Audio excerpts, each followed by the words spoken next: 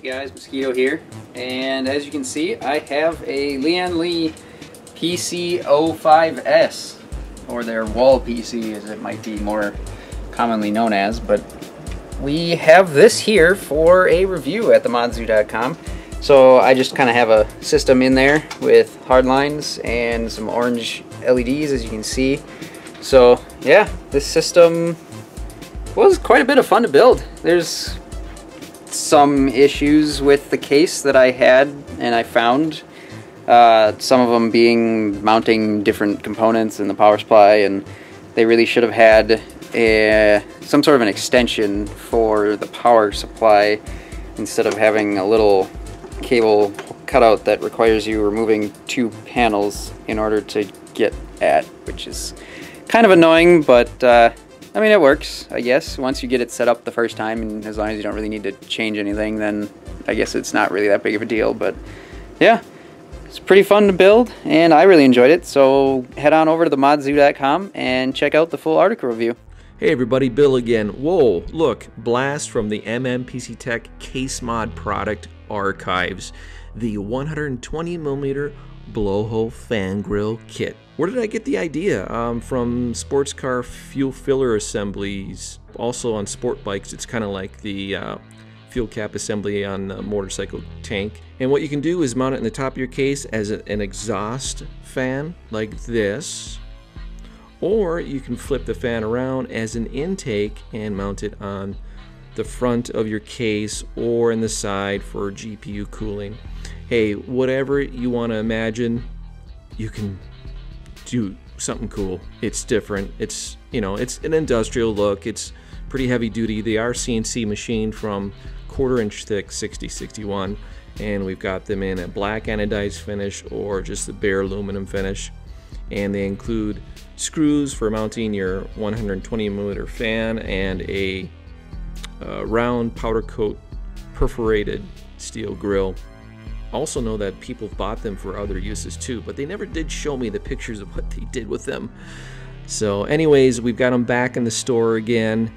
Go to mnpctech.com and if you buy one and do, do something with it, share the photos. Uh, tweet at us or on Facebook uh, so we can see what you've done with them. Hello everyone, this is Jesse aka Captain Curry Sauce from themodzoo.com and here I have the Phanteks Enthoo Mini XL.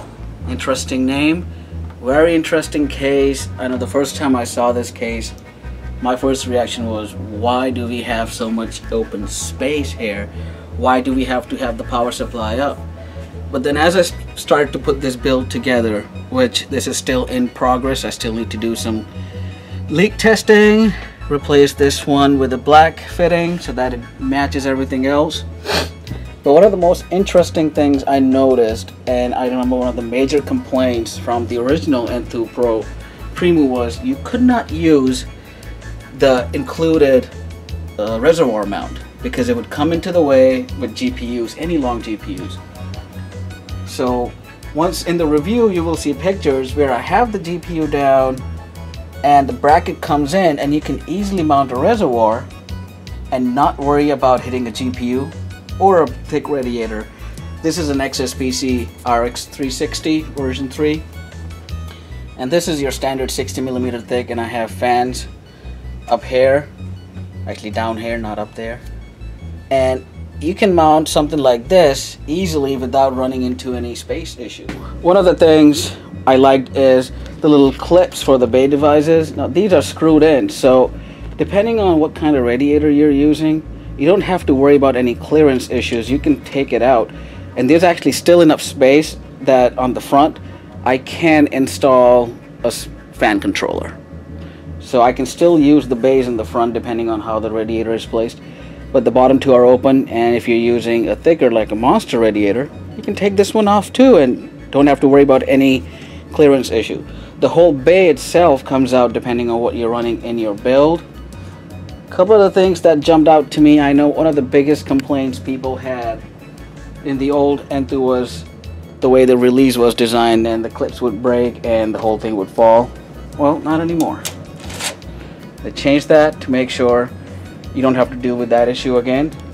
It's still the same style clips, but instead of having something fall down, this is much more sturdier. And if you and like us, and as always, this will be a complete review, which would be up soon. And check out themodzoo.com for the whole full review and the build details.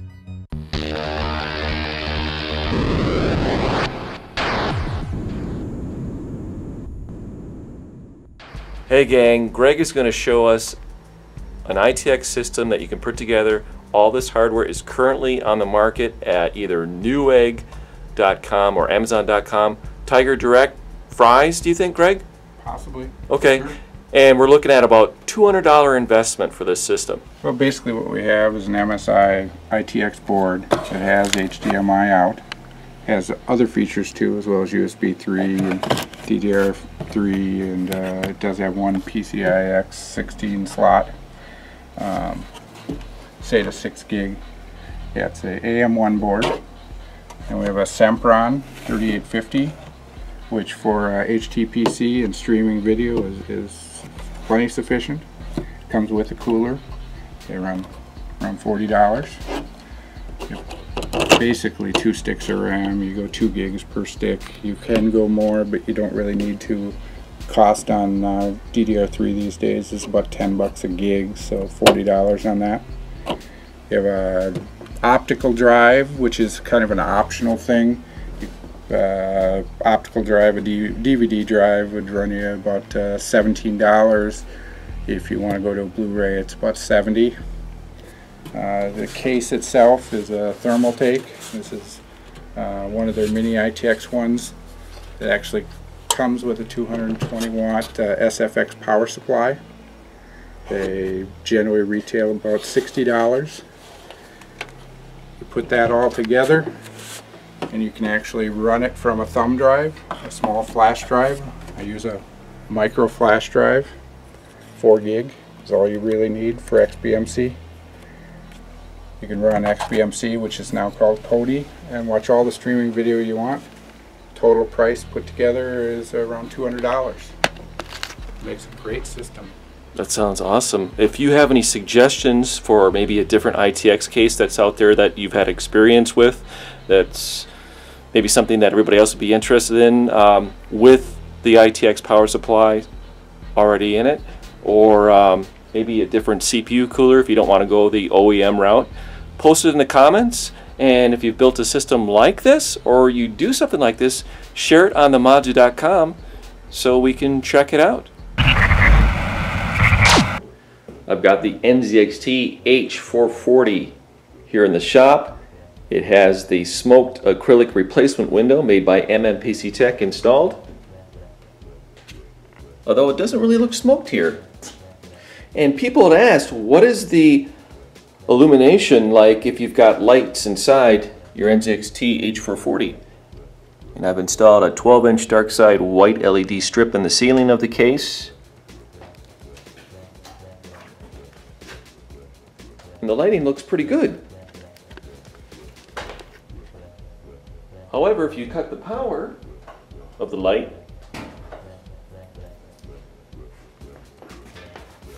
then it looks smoked again.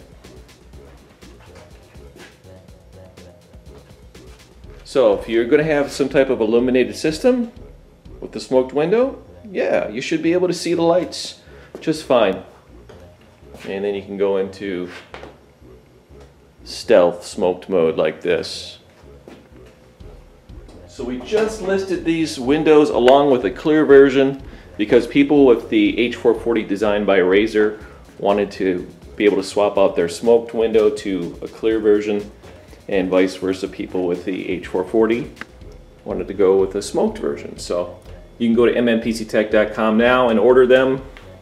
If you're overseas, just go to the top of the page, look for the international link, and uh, we'll hook you up with an order wherever you are.